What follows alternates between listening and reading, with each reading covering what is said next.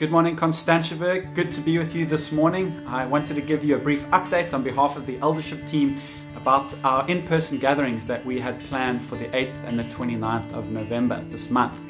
Uh, we've come to consensus as an eldership team that we're not going to be gathering this Sunday, the 8th of November. We're recognizing that there's a real spike uh, here in the southern suburbs of COVID cases, and so we think it wise for us to not gather.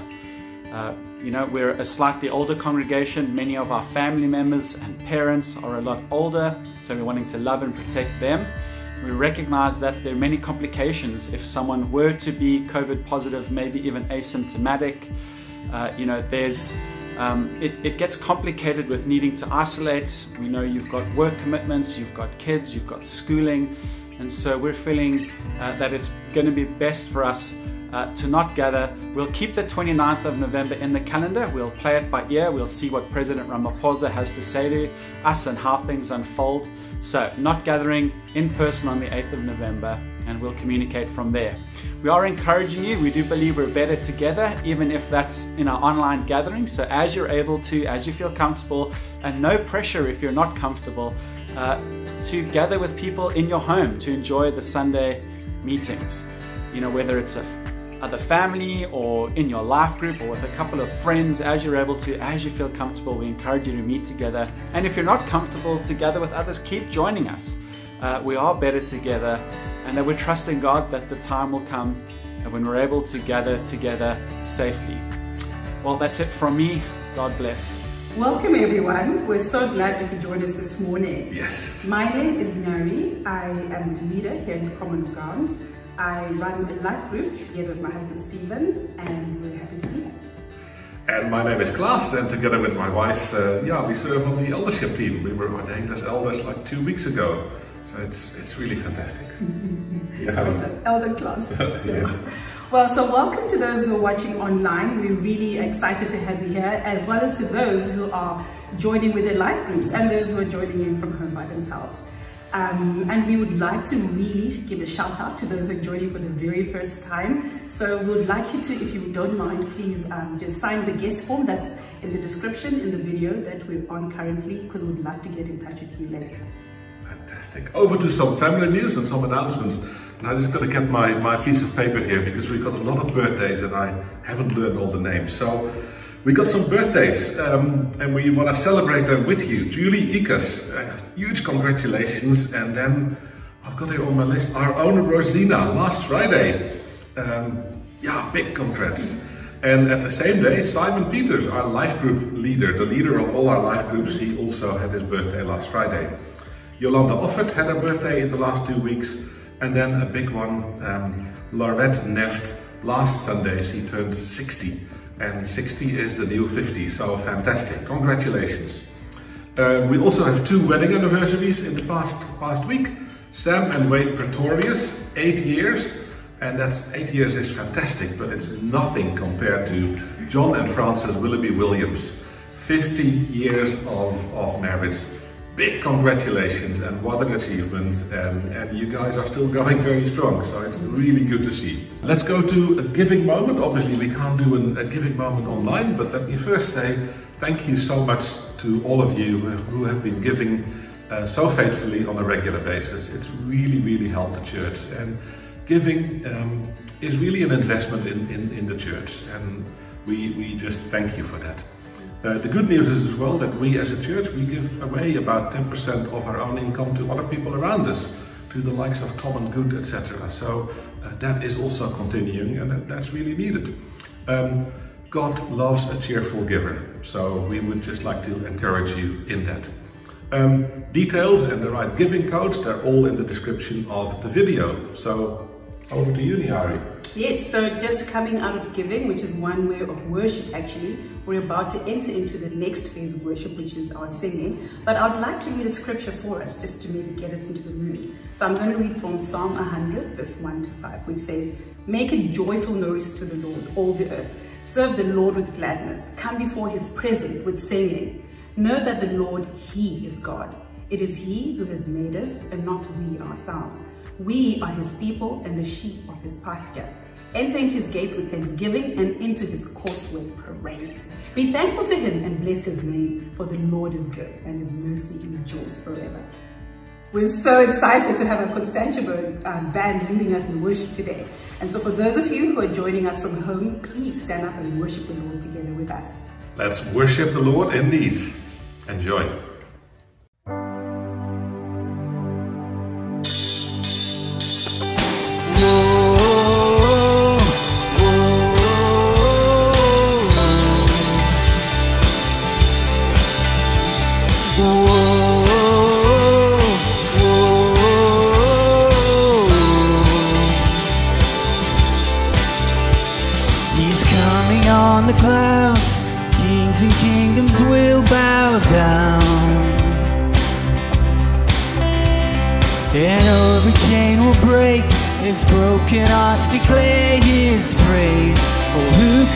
The Lord Almighty? Our God is the lion, the lion of Judah. He's roaring with power and fighting our battles. Every knee will bow before him. Our God is the lamb, the lamb that was slain for the sin of the world. His blood breaks the chains, and every knee will bow lamb. Every knee will bow before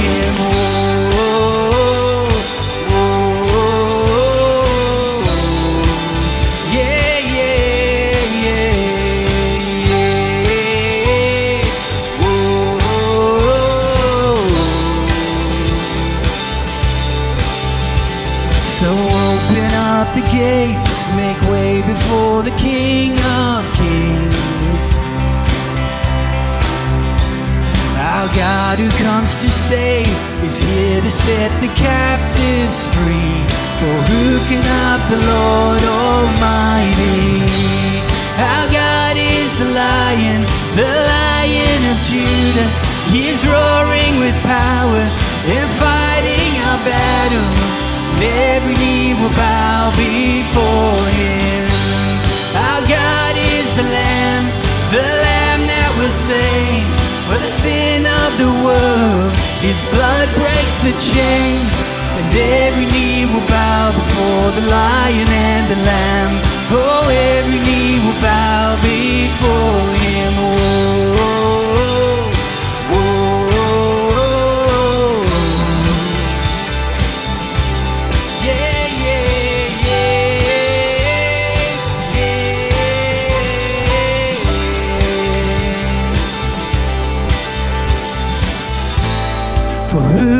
Stop the Lord Almighty?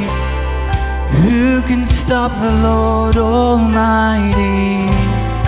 Who can stop the Lord Almighty? Who can stop the Lord? Yeah. Who can stop the Lord Almighty? Who can stop the Lord Almighty? Can stop the Lord Almighty? Who can stop the Lord? Our God is the lion, the lion of Judah. He's roaring with power and fighting our battles. Every knee will bow before him. Our God is the Lamb, the Lamb that was slain for the sin of the world. His blood breaks the chains, and every knee will bow before the Lion and the Lamb. Oh, every knee will bow before him.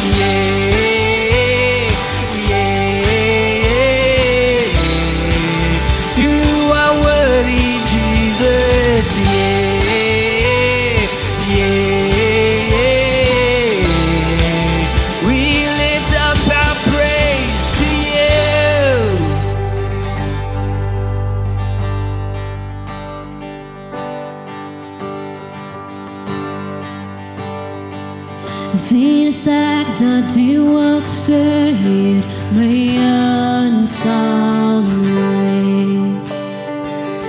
Is verloren, maar nog gevuld hoe hij is lief voor mij. Was mijn lief.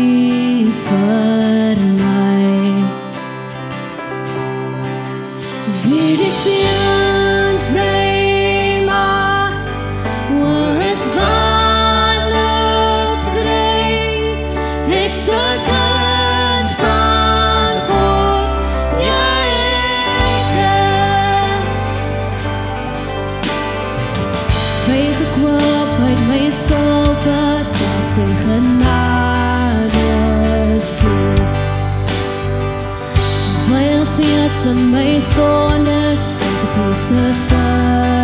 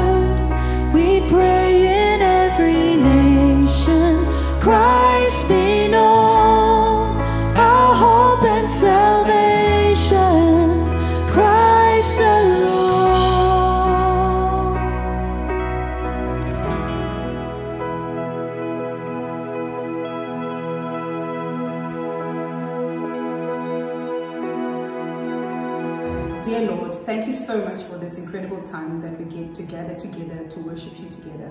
We pray, Lord Jesus, that you would speak to us and change our hearts and learn more about you today. We ask you to come and dwell with us. In the name of Jesus we pray. Amen. Yes, and uh, parents, now is a great time to, uh, to set up your kids uh, so that the kids can go to, to their online areas. And uh, yeah, we're also praying for the kids that they will really enjoy it and that it will be an impactful moment for, uh, for our kids and, and youth.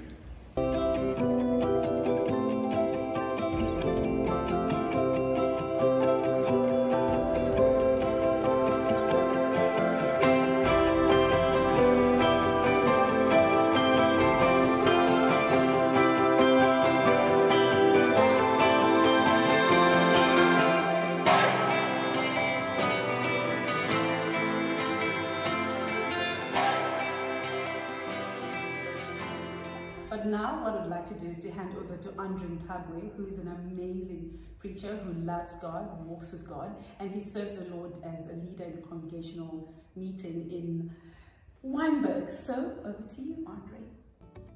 Hi everyone, my name is Andre. It's a delight and a privilege to be sharing God's words with you today. I am very excited that we've gone back to the book of Mark. It has been a long series that we've been going through, and today it's week 19. And I'm going to be sharing from Mark chapter 7, uh, verse 1 to 23. The Bible event we're about to look at is the interaction between Jesus and the Pharisees. In fact, his disciples included as well. Jesus crashed with the Pharisees over the issue of what makes a man clean or unclean. Uh, my aim is to walk us through these 23 verses and examine together Jesus' response to what makes a man clean or unclean. And there are three things that I'd like to share with us. The first one is beware of doing the right things with the wrong motives. And the second one is beware of corner cutting spirituality. And uh, thirdly, beware of outside in spirituality. So I'm going to ask Shanae, who is going to be reading for us. Please uh, turn with me to Mark chapter 11, verse 1 to 23. Now, when the Pharisees gathered to him with some of their scribes who had come from Jerusalem, they saw that some of his disciples ate with hands that were defiled, that is, unwashed.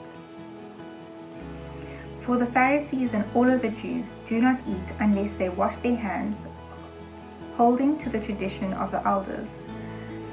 And when they come from the marketplace, they do not eat unless they wash. There are many other traditions that they observe, such as the washing of cups and pots and copper vessels and dining couches. And the Pharisees and the scribes asked him,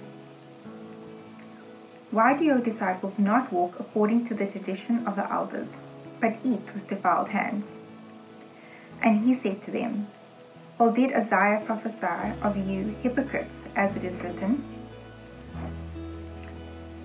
This people honors me with their lips, but their hearts are far from me. In vain they do worship me, teaching as doctrines the commandments of men. You leave the commandment of God and hold to the tradition of men. And he said to them, you are fine you have a fine way of rejecting the commandment of God in order to establish your own tradition. For Moses said, eh, Honor your mother and your father, and whoever reviles father or mother must surely die. But you say, if a man tells his father or his mother, whatever you would have gained from me is Corban, that, that is given to God, then you no longer permit him to do anything for his father or mother, thus making void the word of God by your tradition that you have handed down, and many such things you do. And he called the people to him again, again and said to them, Hear me, all of you, and understand there is nothing outside a person that by going into him can defile him, but the things that come out of a person are what defile him. And when he entered the house and left the people, his disciples asked him about the parable. And he said to them, Then are you also without understanding? Do you not see that whatever goes into a person from, from outside cannot defile him, since it enters not his heart but his stomach, and is expelled? Thus he declared all foods clean. And he said, What comes out of a person is what defiles him. For from within, out of the heart of man, come evil thoughts, sexual immorality, theft, murder, adultery, coveting, wickedness, deceit, sensuality, envy, slander, pride, foolishness. All these evil things come from within and they defile a person. Thank you, Shanae. Let's pray. Dear Lord, I thank you for the privilege and the opportunity given to me that I can share your words with, um, with many, many people right now, Christ followers, and those who are exploring the claims of who you are. Thank you for the Holy Scriptures. It is my prayer that today, God, you'd make your word clear to us, that you'd, you'd reveal yourself freshly to, to us as, as we go through the Scriptures. Dear Lord, I pray for homecoming, for the brothers and sisters who have been searching for years the truth of who you are. I pray for my fellow Christ followers that God, as I share your words, I pray for joy. I pray that they would open their heart, O Lord, to your encouragement. They would open their heart, O God, to your correction. And I pray for humility for me as I share your word with them. In your name, Christ Jesus, I pray. Amen. Great. Before we can go through each verse, I want to explain the word Corban. There is a way that, as Chanel was reading, it's in verse 11. I just want to explain the way to us, then we can carry on. What is Corban? Now, we found this, the word Corban is only found in Mark chapter 7, verse 11. The interpretation is given in the same verse. It means devoted to God as a gift. The word describes something to be offered to God or given to the sacred treasury in the temple. It's something, you know, if something is Corban, it was dedicated and set apart for God's use. Now, what, what we found here in terms of Jesus' interaction with the Pharisees, the Pharisees took this legitimate Corban offering and they misuse it to defraud their parents and enrich themselves. They actually misuse this uh, amazing, um, amazing uh, gift that God had actually asked them as an offering for them to practice, but they are misusing it so that they can defraud their parents and enrich themselves. As a result, the law of God was nullified. You know, the law of God was nullified as a, as a result. Jesus tells the Pharisees that their misuse of Corban was an evil act. It was an evil act because God never intended that the good principle of devoting something to the temple should be twisted to dishonor parents or to dishonor fathers and mothers. That was not God's, uh, that's not what God intended. So, you know, you find different cultures and religion create different rituals and customs that people of the culture and religion are expected to obey. Uh, for instance, um, personally, in my culture, I was born and raised in a culture that favors uh, men more than women. When it comes to the sin of adultery, you find that the men are more favored. The women will be given some form of punishment. The elders from both families will come and they'll speak some words like a curse. So that was really, it's really an ash treatment uh, on women, but when it comes to men, they really receive no punishment. They receive nothing of that form. To me, this is unbiblical. You can see in this culture, they try to take something which is, they take something which is in the couch and elevate it above the scriptures, because when it comes to sin, there is no such a thing as a gender based sin. Sin is sin, whether it's a woman, whether it's a male. So, this is the issue that um, Jesus is trying, crashed with the Pharisees. They are trying, we are looking at the issue of tradition versus commandments. And in verse 1 and 2, we see that a delegation of Pharisees and theological experts were sent all the way from Jerusalem to critique the ministry of Jesus. It appears that they had already made up their mind to say that Jesus is a bad man. They had already actually decided in their mind that Jesus was a bad man that would bring harm to the people of Israel. How, how true is this that they had already made up their mind? It's true because they found an opportunity to accuse Jesus. And we see it in verse 5. The Pharisees accused Jesus, they attacked Jesus, saying, How is it that your disciples are eating without having to wash their hands? How is it that they are eating and not following, not living according to the tradition of the elders? What they saw did not impress them at all. But when we look at Jesus' response, Jesus did not protest that the Pharisees were unfairly judging him for his disciples' behavior.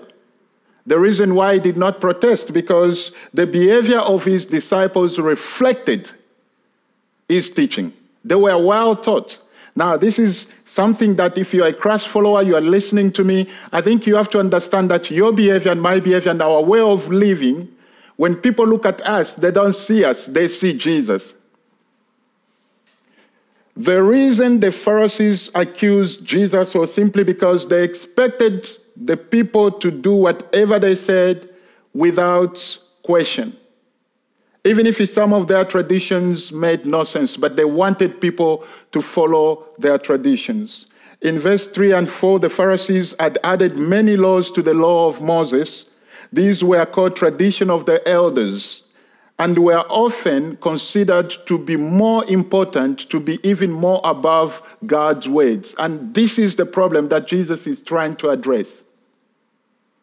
The issue of washing hands to them was not just so that they can clean their hands when they came from a marketplace. They actually went further. They make it to become a ritual that when they wash their hands, it's a symbol, it's a sign, as though because they were interacting with some Gentiles at the marketplace, therefore it is a sign of purification to make themselves clean from the unclean. You know, they consider themselves to be too special. And this leads me to my first point. Beware of doing the right things with the wrong motives. Yes, it is possible. We are in danger. It is possible to do and say all the right things, but to do it for the wrong reasons. And let me speak a little bit to those of you, maybe you're exploring the claims of Jesus you know, when you look at a particular group of people claim to be Christ followers or a particular local community or a church, and you see things that are not okay, instead of straight away accusing Jesus or rejecting Jesus, I would encourage you to go to the scriptures. I would encourage you to go to the Word of God, to check it, to read for yourself, and allow Jesus to speak to you. And I encourage you to even approach the church leaders and speak to them and question the things. And the Christ followers, we have also to be careful. If you are told to do things, you have to check what you are asked to do. Uh, you know, you put it, you check the Word of God and said, what is the Word of God saying about these things? In verse 6, we see Jesus he responds to the question asked to him in verse 5. He responds to them with a quote from Isaiah 29, verse 13. He replied, Isaiah was right when he prophesied about you hypocrites. As it is written, these people honor me with their lips, but their hearts are far from me. This is an interesting response. Jesus called them hypocrites, which simply means mask wearing actors. He said, You guys are acting. You guys, there is something that you've put in front of you. This is not real you. How come you guys are really making this issue become a big issue? You are hypocrites. Today we face the same danger. We can do and say all the right things, but we can be motivated by wrong things, such as a desire to look godly to others and earn a reputation of spirituality. You are doing stuff because you want to look godly so that you can earn the reputation of spirituality. And Jesus insists that a deep love for God and the knowledge of God is what should motivate us to say and to do the right thing. If you love God, if you've got a deep love for God, if you really engage yourself in trying to understand who God is, that should be the motivation. That should be the motivation for you to do or to say the right thing. Now, let me say this. It is true to say a responsible citizen as you know is one who who votes, for instance. If he it is true to say a responsible citizen has to vote, but we must be very careful not to turn you know, politics or political parties into a religion.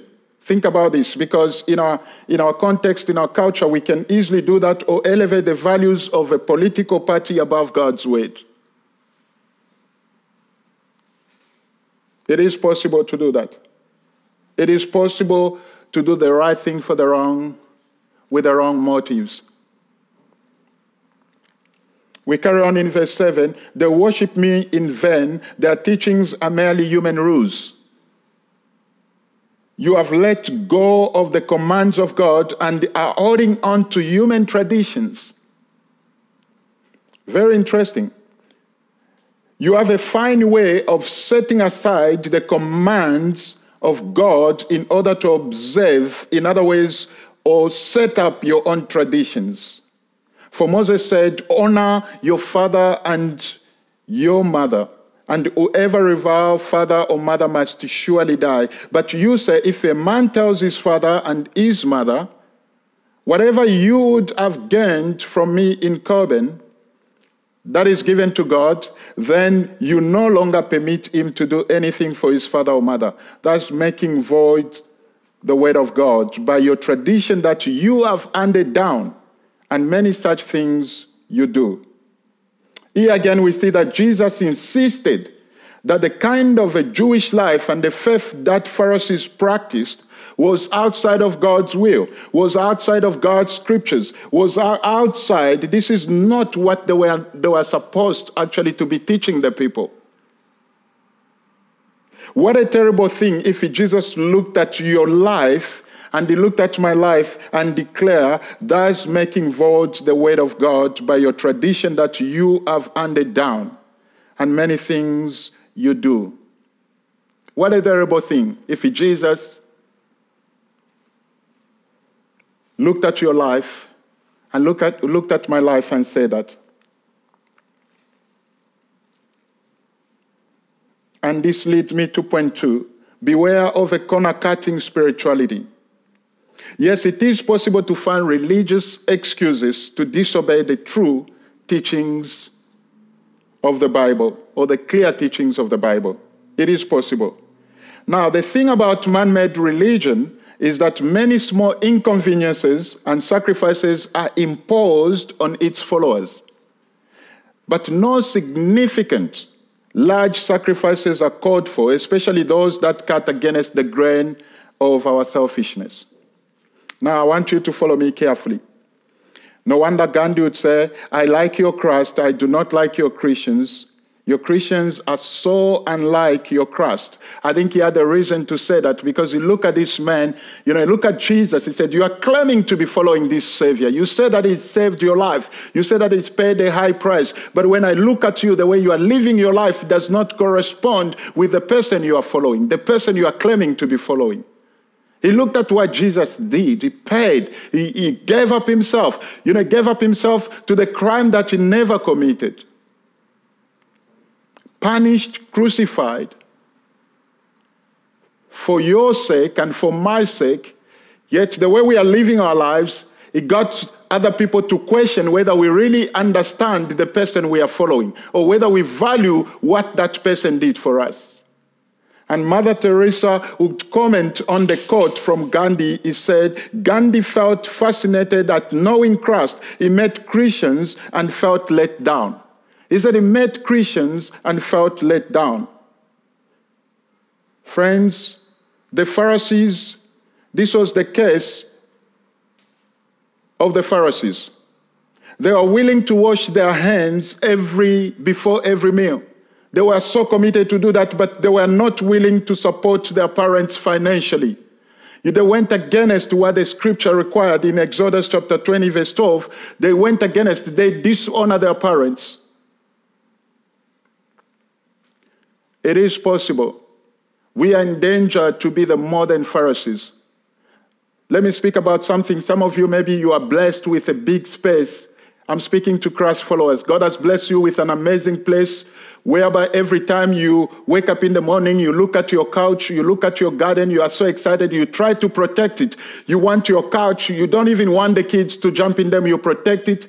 I'm telling you, in 15 years' time, they are going to look the same. Is that what you are going to stand before God and said, I had used my home for your glory? I am wanting to challenge you and say this to you. It is okay for those couch to be damaged as long as you utilize your space to, to the glory of God. Get people in your house, get them to open the word of God, debate with them. And I'm so grateful to encourage those of you already doing it. You are calling people into your lives you are calling people into your private space. You are saying to your children, say, you know, this is our private space, but because of what Christ has done for us, we are going to do a sacrifice. We are going to open our home and we are going to invite other people. We are going to open the Bible. We are going to debate. We are going to journey together. We are going to feast on Jesus. We are going to use these couches, whether they would get damaged or not, but we will use this space to the glory of God.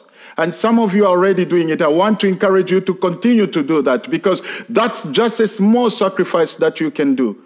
What's the use of feeding yourself with a lot of great podcasts, you know, a lot of good teachings, coming to the building on Sunday or meeting online and following all the teachings? What a use when you do them, but there is no sacrifice. You are doing it for you. And when I think about the way consumerism is increasing in our culture today, in the world today, it's not only outside the church, it is even in the church that you get to be fed, but what next?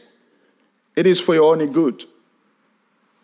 Can we make a sacrifice? When last did you pause and look at what is happening in the country and say, I am going to be, I'm going to go on my knees to pray and I'm going to lift up my hands. I'm going to cry out to God and say, God, please, whatever issue of corruption in our nation, God, won't you bring to light the truth of your word? Won't you take out the people who are really causing this nation to go? The poor have been oppressed. When, when, when last did you actually pause? Or are you just looking into your own space and what is happening? What is is going well with you and trying to protect. These are things that we can do. No wonder Gandhi had a reason to say, when he looked at the way we are living our lives, he questioned whether we understand the person of Jesus Christ, whether we understand the sacrifice of what Jesus did for us. He went to the cross on our behalf. He paid the most highest price that you may receive life, that I may receive life and life to the full. When last did you pause and look at what is happening in Ivory Coast and say, God, I want you with the issue of elections. We don't want people to die. What is happening in Nigeria? You pray for God's peace. When last did you look at our continent and say, God, raise men and women who are, they know you, they fear you, that they may lead us in a direction that you want them to lead us? We carry on from verse 14. And he called the people to him again and said to them, Hear me, all of you, and understand. There is nothing outside of a person that by going into him can defile him, can make him unclean. But the things that come out of a person are what defile him. And we jump to verse, verse 19. Since it enters not his heart, but his stomach, and is expelled. Does he declare all foods clean? Again, the interaction continues. It's trying to understand here what makes man clean or unclean. And Jesus is saying it's not what goes into his stomach because it's not touching the heart. And in verse 20, he said, you know, what comes out of a person is what defiles him, is what makes him unclean. For from within, out of the heart of man, come evil thoughts, sexual morality, theft, murder, adultery, coveting, wickedness, deceit, sensuality, envy, slander, pride, foolishness. All these evil things come from within and they defile a person. They make a person unclean. This is the, the time Jesus, Jesus just mentioned the sin by name. And this leads me to my final point beware of outside in spirituality.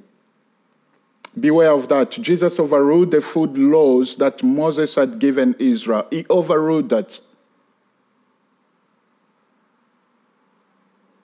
He said, It is what enters.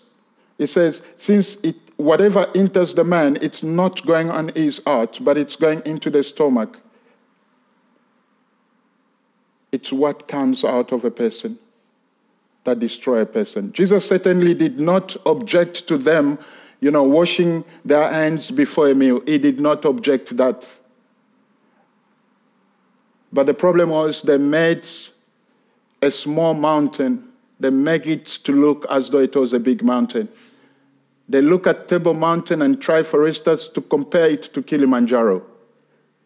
They made an issue of washing hands become so critical that they were not concerned about what was uh, what was what, what, was the things that that God was against? You know, they they push what was their own tradition in wanting to go above God's word.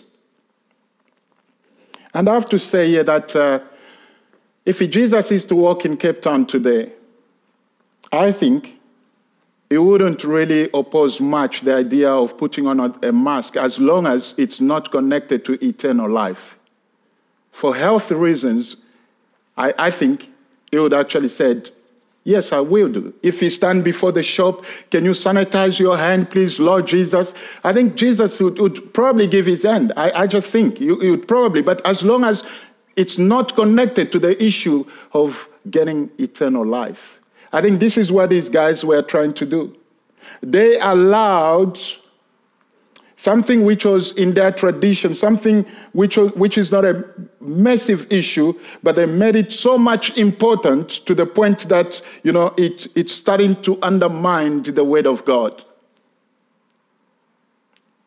When we read the Gospels, we get the impression that Jesus had little tolerance for religious rituals and traditions. He had little tolerance to that. He focused on obeying God and loving people. Now, let me ask you a question How is your obeying going? How is your obeying of God? How is your, your obeying of God in your life? How are you loving other people? How are you loving other people who are not like you?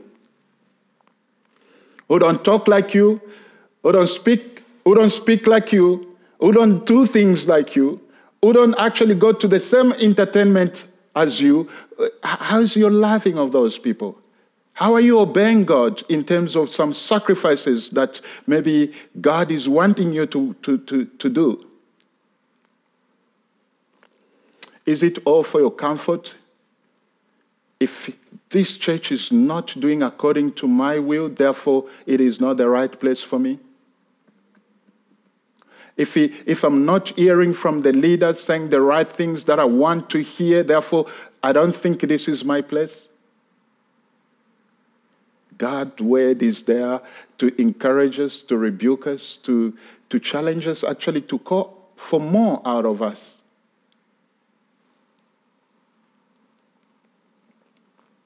In verse 20 and 23, Jesus, you know, tells what makes a man clean or unclean. He gave the final conclusion. Jesus measured being clean by a different set of standards to his accusers. This is a different set of standards to his accusers. The one he, he looked, you know, the accusers, they looked at externals, such as religious rules and rituals, Jesus looked at the heart. He saw man's heart. A pure heart leads to godly conduct if you've got a pure heart that is immersed in God's word, understanding who God is, understanding Jesus' love, the, what comes out of a person like that, you know, it is it, it, it, it is something that is going to build up others, something that is going to contribute to build up the body of Christ. Even in our communities, Jesus is looking at the heart of a person. And not what is going inside. He never apologized his answer to the Pharisees. And he wants them to know to understand, and he wants you to understand that our belief and our behavior have to be based on the, God, on the Word of God, not on any religion or religious traditions. Here are some special touches to qualify my three points that I've just given us above, uh, the, the three points I've given us. When what we know about God is disconnected from who God really is, we are in danger of developing ways to appear godly without prioritizing God in our hearts. We are in danger. If we, what we know about God, you know, and who God really is, if we've got a wrong view of God, we are in danger of prioritizing wrong stuff. And, and Jesus is calling these people, you guys are hypocrites. You, you say that you know him, but what you are doing is not really exactly what the scriptures are wanting you to do. You hypocrites or mask wearing actors. If we make every effort to cover our sin and hide our need for repentance, we clearly have not understood the gospel. This is exactly what the Pharisees did. That's what they hide their need for repentance. They, they were hiding their sin. They did not really understand the scriptures. And we are in danger of that as well. Now, here is a question I have for us How are we to respond to Jesus? How are we to respond to Jesus? Because, you know, I want us to know that the times have changed, but the hearts of men have not. Our heart have not changed. We are in danger of falling into the same trap as the Pharisees. Our hearts haven't changed. We are the same. For the Pharisees, their response was to cover sin instead of confessing and repenting. How about you? How about me? Are we trying to cover our sin? Are we trying to avoid to really come clean before God? If I have to speak on our behalf in terms of how to respond to Jesus, I would say we have to recognize our need for mercy and not to have confidence in self righteousness.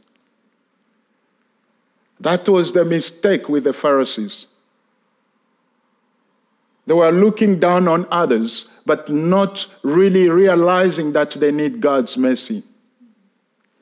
I love it when I read Luke chapter 18. We see the tax collector went away justified, not based on his deeds, but he was justified because of God's grace.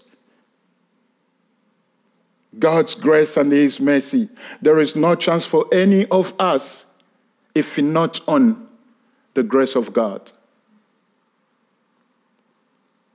Friends, we have to surrender to Jesus in the way that we talk, in the way that we walk. This, this is mainly for those of you who are Christ followers. But if you are not a Christ follower, you can go and get the Word of God, read. And let me tell you, Jesus is not a leader who is calling us to the things that himself never walked through. In fact, he sacrificed a lot for us. He gave his one and only life so that you may life, you may have life, and not just have life, but according to John 10:10, 10, 10, that you may have life and life to the full.